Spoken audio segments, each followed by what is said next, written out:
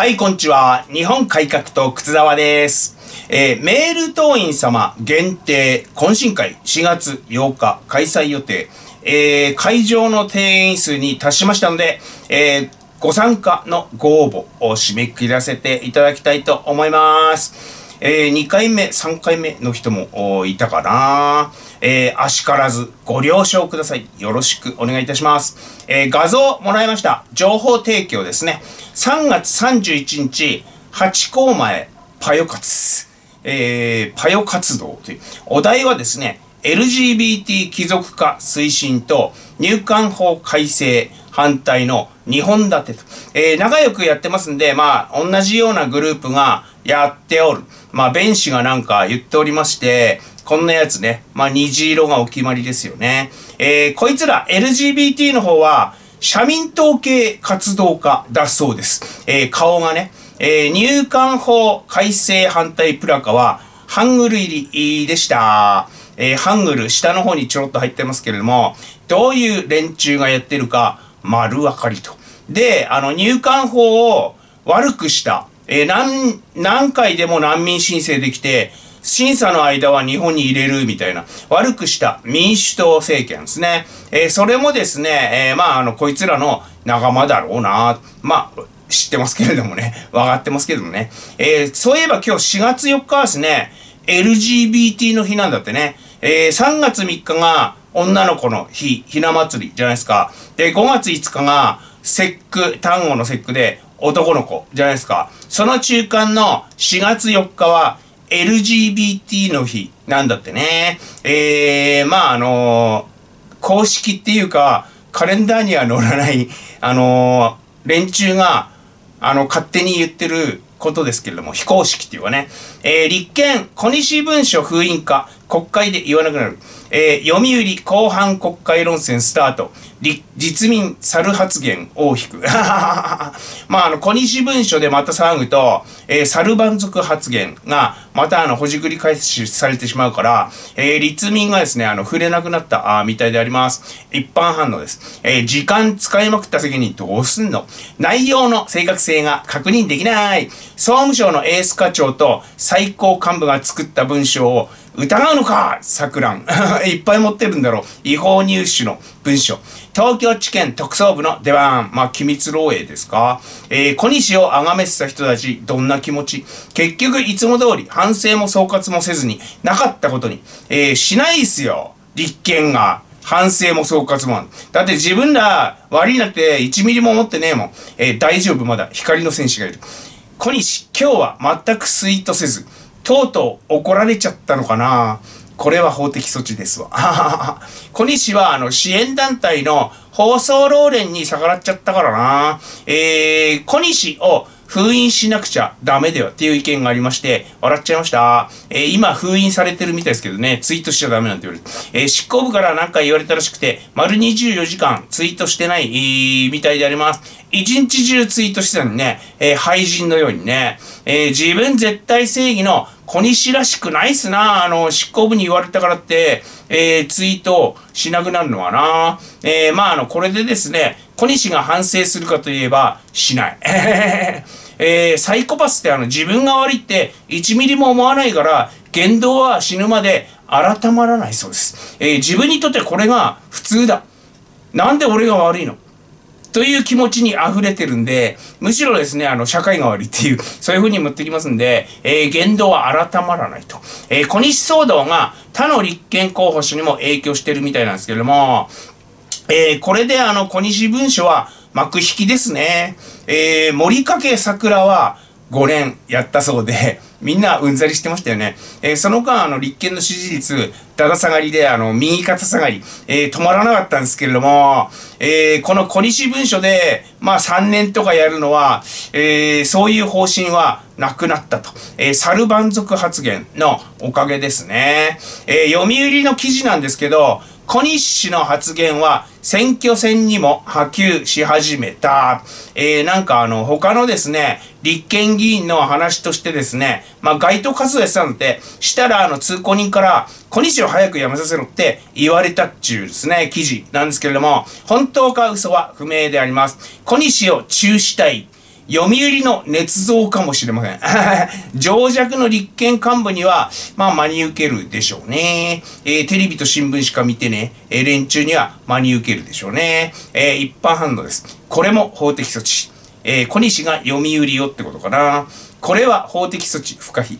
全国民に対して法的措置。マスコミに圧力をかけるとどうなるか実証したなまああの仕返しされてますわねコアな支持層も小西を嫌がって執行部は板挟みかところが小西がいい泉がやめろって層もいるんだな。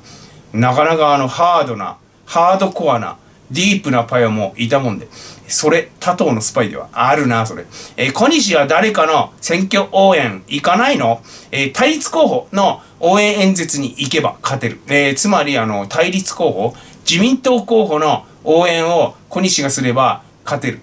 その自民党候補の票数が減って、えー、惨敗したら小西のせいにできるじゃん。よかったね。えー、これは小西のですね、俺に都合悪いだろうざい。っていうもので、読売に法的措置不可避かな。えー、小西の件がなくても惨敗だっただろうっていう意見もちらほら、最近のあの立憲の支持率からですね、むしろ、泉がやめろ。え、これは、あの、他党、特に共産党の スパイの可能性あります。えー、泉は共産党との共闘に消極的だし、まあ、あの、共産党的にはですね、泉を引きずり下ろせばワンチャンって思って、まあ、盛んにですね、工作かけてんのかな？むしろ泉がやめろってね。あの、小西の責任とって泉がやめろであるとか、えー、小西は正しい、泉はやめろなのか、えー、ただ、あの、これに遠慮してですね、小西の処分が憲法審査会のあの筆頭漢字鋼鉄っていう生ぬるいものだった可能性ありますね。気にしちゃってね。えー、委員としては残んだって。びっくり。えー、小西、あの、シャーシャーと、あの、面の皮が、どんだけ熱いんだお前はっていう話なんで、憲法審査会に委員としては残んだって。驚きますね。この面の皮の、えー、戦車の走行に使いかもしれないな、これ。小西にはまだまだ頭のおかしいことを言ったり書いたりしてもらって、えー、立憲の支持率、右肩下がりに貢献してもらいたいなえー、思っております。えー、ブレずに頭がおかしい C 数を従来通りの主張を繰り返す。よく戦争になったらどうするという議論がありますが、戦争を絶対に起こさないための外交にありとあらゆる知恵と力を尽くすのが政治の責任とか書いちゃって、まあ、あの、頭のる人だったらこれで騙されるんでしょうけど、えー、一般反応です。えー、デカルト。絶対はない。政治家の責任、放棄すんな。話にならないとはこのこと。その知恵の一つが防衛力増強なんですが、その上で万が一に備えるのが政治の責任だろう。ウクライナでそれ言ってこい。えー、回避努力も備えも両方必死にやるんだよ。バカチンが。えー、外交じゃなくて相手の要求を飲めと言ってるだけ。まあ無条件降伏なんですよね。えー、無抵抗で属国になれっつってんですよね。シーカズはね。えー、サドルにぶっかけるのやめてもらっていいですか？えー、あの代表選挙って言った途端に党員除名しといて、外交とかよく言えるよね。話し合いでとかね。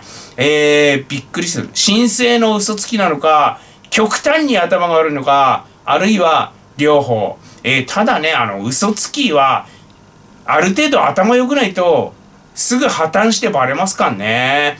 えー、政治の責任とか言ってるけど、あんたら政治家じゃなくて、革命家だろ。工作員だろ。えー、活動家だろ。戦争になるイコール攻められたら、どうなるって話なのに、えー、日本からあの戦争を仕掛けるってことは、まずない。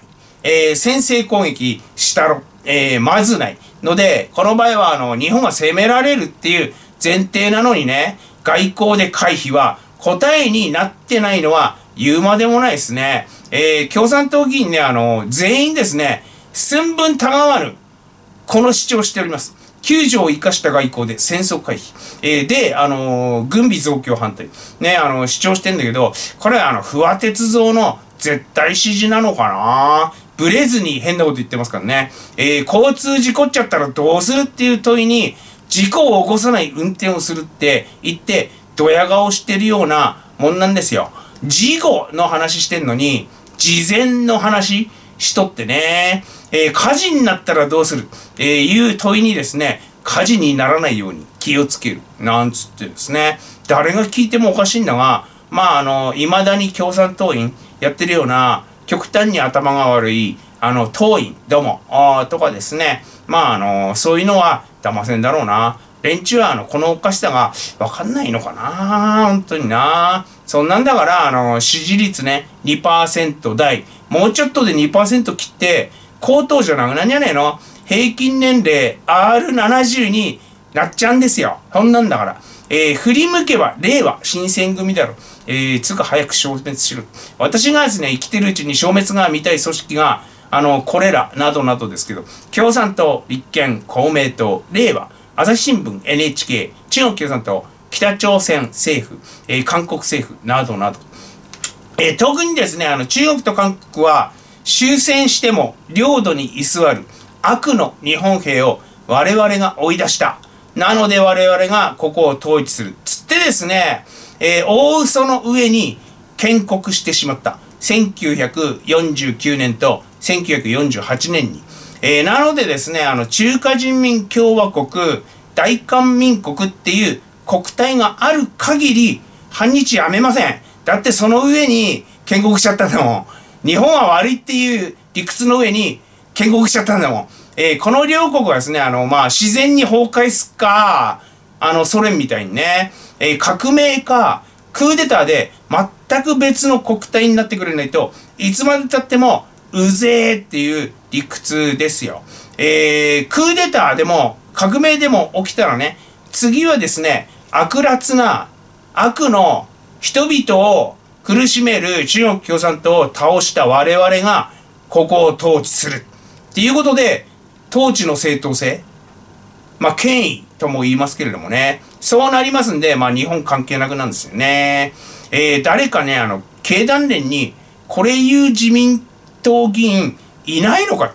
えー、そういえば、あの、共に民主党っていうあの、韓国野党、えー、韓国の立憲民主みたいな、あの、党の議員4人ばかしがですね、東電、東電に押しかけるみたいなことを企んでるようでしたけれども、えー、そんなね、あの、来る前からそんなこと言ってる連中、えー、外国人の生活、政治活動は禁止だし、んな、あの、テロまがいのことやりに来んなら入国させんなやって思ってたらですね、えー、日韓議連の会長が今、あの、ガースなんだって、えー、でね、あの、コネで欲しいって きっぱり言っちゃった。